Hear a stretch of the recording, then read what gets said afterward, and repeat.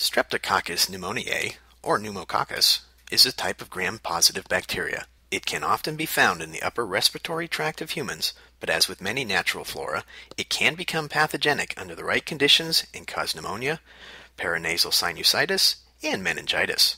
Until 2000, Streptococcus pneumoniae infections caused 100,000 to 135,000 hospitalizations for pneumonia, 6 million cases of ear infections, and 60,000 cases of invasive disease, including 3,300 cases of meningitis. Disease figures have improved since a pneumococcal conjugate vaccine was introduced in 2001. Streptococcus pneumoniae is spread from person to person by the inhalation of respiratory droplets from an infected person. Persons at higher risk for infection include the elderly, children under two years old, blacks, American Indians, and Alaska Natives, children who attend group daycare centers, and persons with underlying medical conditions, including HIV infection and sickle cell disease. The incidence among young adults and young children is decreasing due to improved HIV therapy and to the use of the new conjugate vaccine for children. Outbreaks have occurred in institutional settings and child care centers.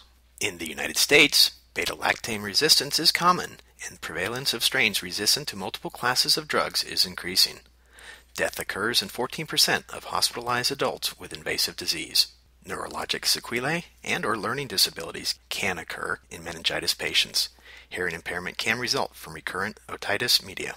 These are just a few things to know about Streptococcus pneumoniae disease. To learn more about environmental infectious diseases and pathogens or indoor air quality testing services and prevention measures, please visit the website shown on the screen.